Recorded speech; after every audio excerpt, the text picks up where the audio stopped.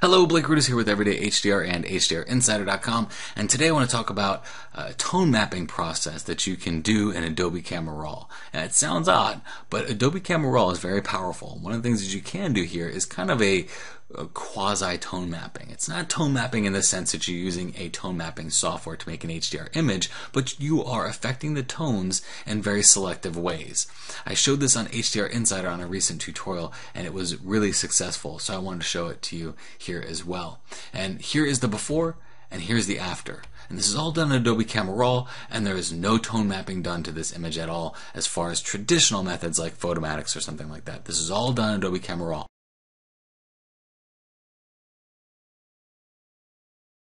Alright, so here we are in Adobe Camera Raw, and we're going to go ahead and talk about this uh, tone mapping in Adobe Camera Raw, but there's some little things we need to fix here before we can go ahead and do that. The first one is going to be right here, this little guy. Um, no soliciting, no uh, trespassing. Yeah, I, I wasn't on their sidewalk, I was in the street. So I really wasn't too worried about that.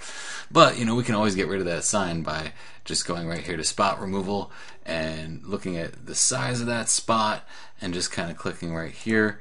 And then that's going to ask us where we want to pull it from. We can just slightly come in here and just move it up until we get exactly all of those lines matched up. So that looks good. All right, no more sign. The next thing we need to do is fix the proportions or the geometry in the photograph. So we can go to lens corrections, go to manual. Up here in, in this top bar, you've got profile, color, and manual, and then click the A for upright, and that will do a really good job of getting you a nice upright base image to start with. So now we can go ahead and go in and start getting the base layer for our photograph. And typically, what we do with the tone mapping when we do a uh, a single image in Adobe Camera Raw, and a lot of people don't consider it tone mapping, but if you think about what it is that you're doing, you're controlling highlights and shadows. So essentially, you are mapping your tones to a degree. Now, you're not using tone mapping software like HDR software, but you are adjusting the tone to an extent that it could be considered as such. So we'll go ahead and just go ahead and give us a little more temperature here, make this a little bit warmer before we start. And then we'll go into the exposure. We'll look at the exposure and see where we are on the exposure.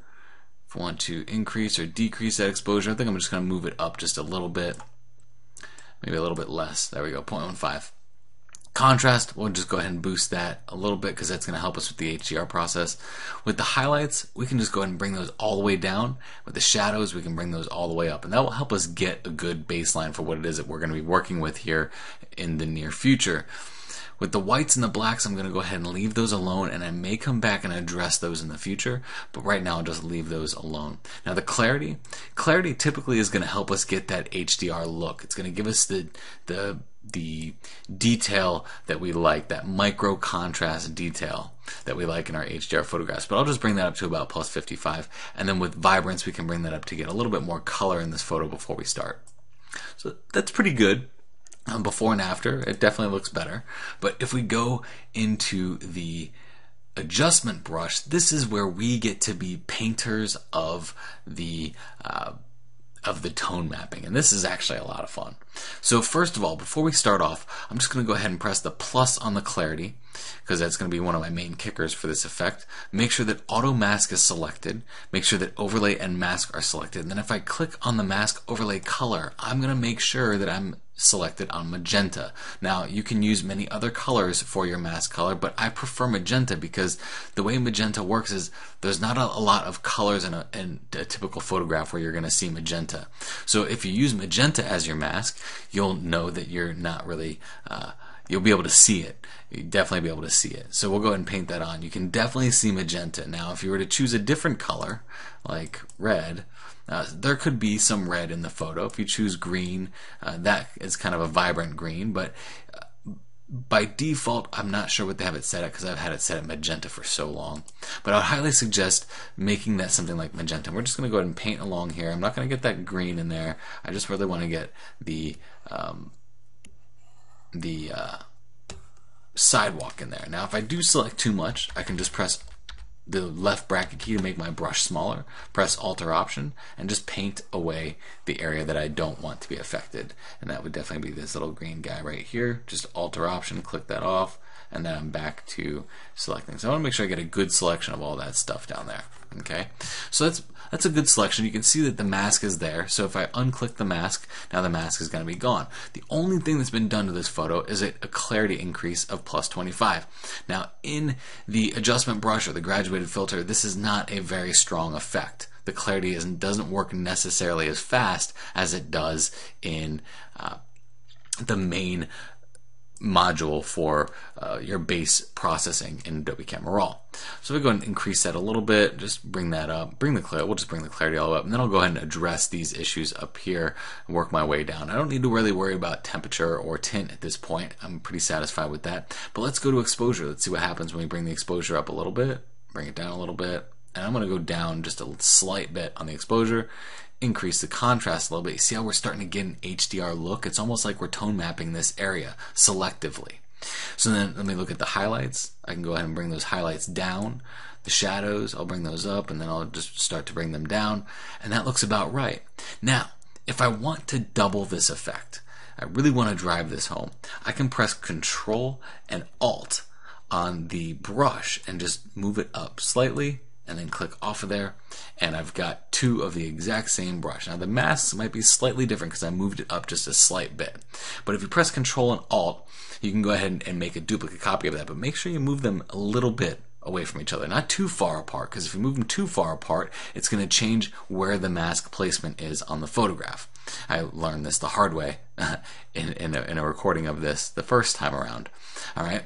So if you look at this though, we just doubled exactly what we did with the first uh, brush. Now things might be a little different. We can actually increase the highlights at this point and still get a nice uh, HDR look, but increase the highlights on one of the brush, decrease the highlights on the other brush, and it gives us a little bit more contrast between those areas to really give us a nice grungy, almost HDR look to this area that was not tone mapped traditionally like we, we're normally used to. So then if I go ahead and let me look at the mask on this one real quick and then look at the mask on this one real quick. Okay, so I'm pretty satisfied with those. So now we can go ahead and make another one. So we'll just make a new one and we'll go ahead and paint that new one right here where the bricks are. So I'm just going to make a pretty big brush and just paint on these bricks. Now by default, it's going to have all the settings from your previous brush. So if you're happy with that previous brush, you can leave those settings alone. Or before you go in, you can make sure that those settings aren't there. Now, if I go and make sure that I press on that mask and make sure I get all the brick in there, because I really want that brick to be affected, make my brush a little bit smaller, press Alt or Option to get rid of it on the area that I've already tone mapped down there. All right, pretty good. Go ahead and make sure I get all these areas on the brick, even those little white areas, and just have fun. That's pretty good. I'll, I'll be good with that one. Let's take that mask off and let's go ahead and look at what we can do with this. So let's bring the exposure down a little bit to make that darker. Let's bring the highlights up. And then let's bring the shadows up a little bit. No, let's keep those shadows down, way down and we'll keep those highlights up. I like the way that looks up. And then here we can actually make this a little bit warmer and add a little bit of warmth to our background color there. So that looks actually pretty good. Here's a little before and after. Again, same thing here. If I want to duplicate this, I just click on it, press Control and Option, and move it down, or Control and Alt, or Command and Option. I just did a little Mac PC confusion for you there. If you press the mask icon there, you can see that the masks are relatively the same because they are relatively close to each other. So now we can click on that other one and see if we need to do anything with this one. So it looks like the shadows might be a little bit too dark here. So we'll, we'll drop those shadows a little bit. We'll drop the contrast down a little bit. Maybe increase the highlights still because I really like how the white is coming through on that brick. And then maybe increase the exposure just a little bit on that one. Maybe drop the exposure down a little bit. It's a little, working a little too fast on me there. And then we'll even knock down the clarity just a slight bit.